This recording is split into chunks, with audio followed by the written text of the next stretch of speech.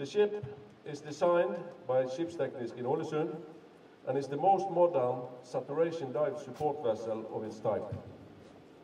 The ship is built for a crew of 86 persons. The diving system on board is supplied by Drager Safety in Lübeck and is a single bell dive system for 18 divers living under pressure and which can work down to 300 meters of water depth. I give you the name Mermaid Endurer. May luck and fortune go with you and your crew over the seven seas.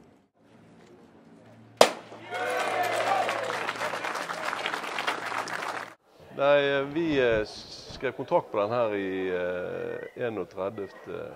juni 2007 med GDV Offshore. Og så ble senere nevnt eh, navnet var det Aquanos Offshore. Og eh, Dette er en båt på 95 meter ganger 20, og som har da et eh, dykkesystem på 18 mann. Og De kan dykke ned til 300 meter. Eh, Skipet er DP2-skip. Og òg en krane på 100 tonn som har eh, 2000 meter løftehøyde. Så kan operere da ned til 2000 meters havdyp. I tillegg til det så har skipet ROV-systemer og et airdive-system. Og Skipet det er blant de mest moderne og mest sofistikerte innen denne bransjen med dykking i verden i dag.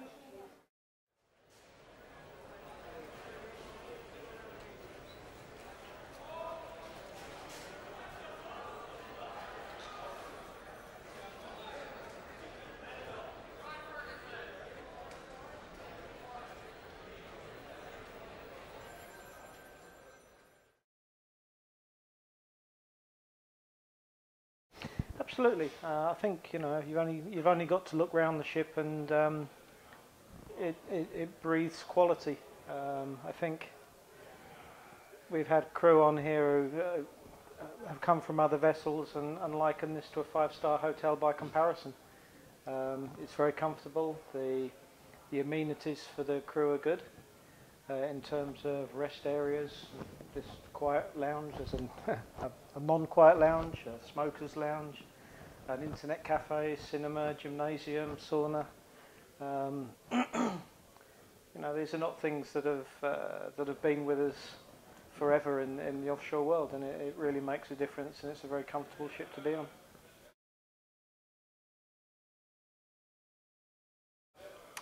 Working with Bergen Group has actually been a pleasure. They, they've um, it's it's back to the old days of, of gentlemen where a handshake uh, is enough to agree on something. Um, I think you know with all with all shipbuilds, there's always a need to be flexible to adapt to varying needs. And I mean, we we've built other ships in other parts of the world, and um, have felt like every every change has been has been a an opportunity for some yards to extort money out of us.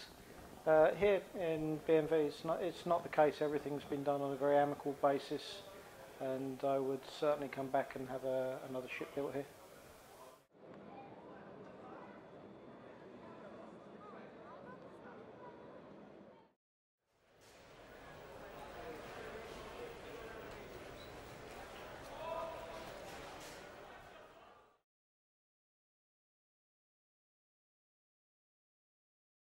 Ja, vi, eh, vi startet jo opp igjen med skissbygging. I, eh, vi skrev den første kontrakten i 2005.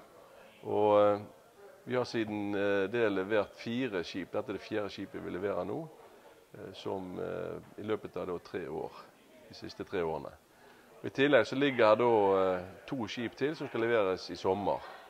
Så leverer Island Enforcer til Island Offshore da, i juli.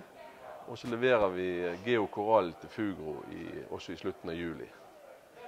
Slik at eh, vi har tre skipsleveringer da faktisk i løpet av eh, to måneder. Så eh, videre fremover så kommer det et skrog til fra Polen. Det blir det største skipet vi har eh, bygget. Det er en eh, ROV offshore konstruksjonsfartøy som, eh, som er 130 meter lang og 24 meter brei. Om bord der er det en 200 tonns kran som jobber da ned til 3000 meters dyp. Så dette er en, eh, en serie av eh, veldig avanserte skip, store skip, som skal ut i, i eh, offshore. Nå har jo vi denne finanskrisen som vi så stoppet tingene opp litt.